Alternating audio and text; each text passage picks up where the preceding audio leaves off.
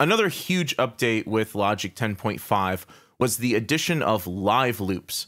And I find that working with both the step sequencer and live loops in tandem really speeds up my production workflow for electronic music. And the great thing is, if you prefer just working in the tracks area instead, you can do that too. And you can easily migrate ideas back and forth between the live loops grid and the tracks area. So a couple key commands to remember here are option V, which will toggle back and forth between the live loops grid and the tracks area. You can also use these buttons up here to hide and show the tracks area and the live loops grid. Another one that's helpful is option L, which will just show the live loops grid. And then you also have option B, which will show both the live loops grid as well as the tracks area.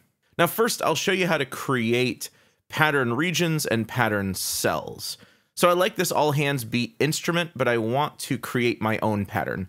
So I'm just going to go ahead and delete my pattern cell, my pattern region, and my MIDI region here and start from scratch.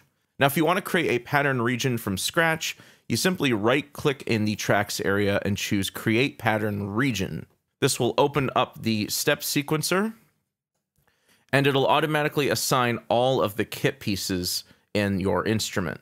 Now, if you're working with a synthesizer or like a melodic or bass or chord instrument, it's a little bit different. We'll get into that later on in this course. But for right now, just for simplicity, I'll stick with a drum kit. By default, each step in the sequence is a 16th note, and the sequence has by default 16 steps. You can change that here, but just for simplicity, I'll stick with 16 steps. And I'll just make a really basic sort of four on the floor pattern here. One thing I like to do is preview the pattern. Again, that's option spacebar. So I can hear the pattern change on the fly as I'm creating the pattern in the step sequencer.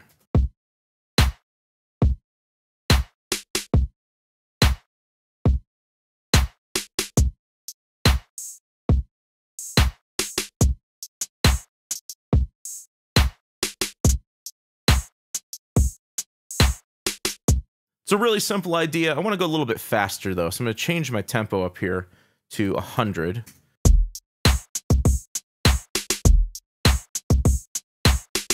Yeah, that sounds a bit better at a faster tempo. Now you can also do the same thing with cells in live loops. You can right click on an empty cell and choose create pattern cell, and then go through that same process that I just did, creating a beat from scratch. If you've started building an arrangement in the tracks area and you want to move it over to the live loops grid, you can very easily drag these regions over in and it'll create pattern cells out of these. So I can do the same thing here with my chords. I can pull that over. And then I can just trigger this with my scene trigger here.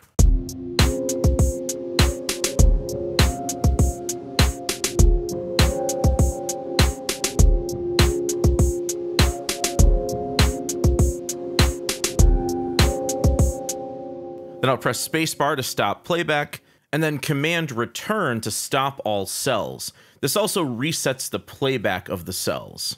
Now, if I wanted to copy these over to a new scene, but maybe change up the beat a bit, I could do that as well. Just drag over both of these and press Command R. Then I can go into my second all hands beat here and maybe change this up a bit.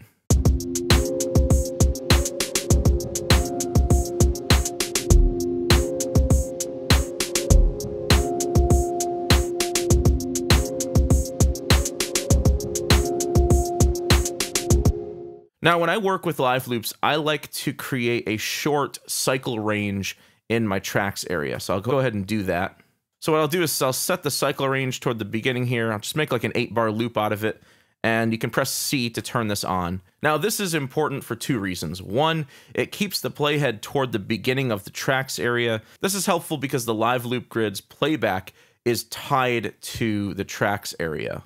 And two, this makes sure that when you trigger a scene, it immediately plays rather than having to wait for the next quantized start value to start. You'll also notice that when I trigger a scene,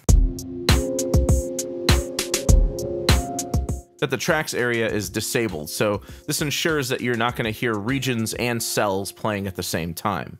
Now let's say you have the opposite. Let's say you've built something in the live loops grid and you want to transfer these patterns over into the tracks area. Maybe you want to come back in here and record some vocals or something on your arrangement.